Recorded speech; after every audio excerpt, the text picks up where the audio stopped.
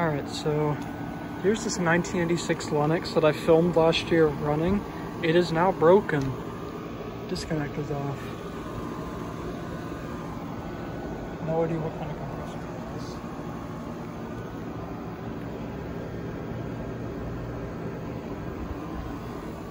And here's a Ruud that's also broken.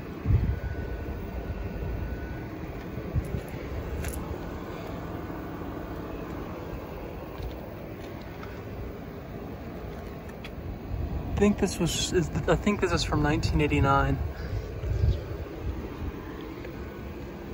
Yeah, this one's also broken. As you can see, the disconnect's off. Sad seeing two vintage beasts broken.